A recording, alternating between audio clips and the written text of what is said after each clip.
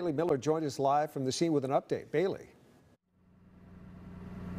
Ken, we did get an update from police and they say a woman in her 70s has died in this collision and a woman in her 50s was taken to the hospital. But take a look at this scene. Most of it has been cleaned up, but you can see a tow truck driver. He's here and they're about to load the last car involved in this collision onto that truck to take it away. And where that car is right now, that's where a fence was. So this collision completely broke down this fence on this homeowner's yard. And we actually talked to that man and he is completely angry about what happened here because he says this has been happening quite a bit here at this intersection. So what they say is at around 5 o'clock, a woman in her 70s was driving through the intersection. She ran through a stop sign and hit the woman in her 50s. Now, both of those cars ended up colliding and hitting a parked car that police say luckily had no one inside. Now they're just warning everyone because this was a two-way stop and it's very dark out here to be careful when you're driving in Fresno County.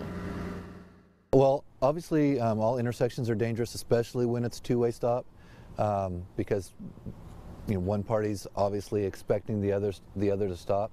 Um, so always drive with caution, especially when it gets dark um, out in Fresno County in any any intersection area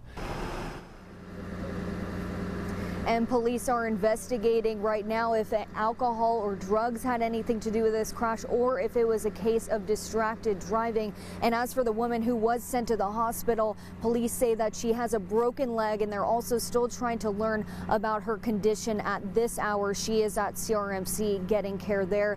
But um, this intersection, it's still closed off here as they're cleaning it up. A lot of cars have had to turn around and go a different way through here. But um, once again, you can see um, that this is a very very active scene here, and um, one woman has died, another has been taken to the hospital. Live in Fresno County, I'm Bailey Miller, CBS 47 Eyewitness News.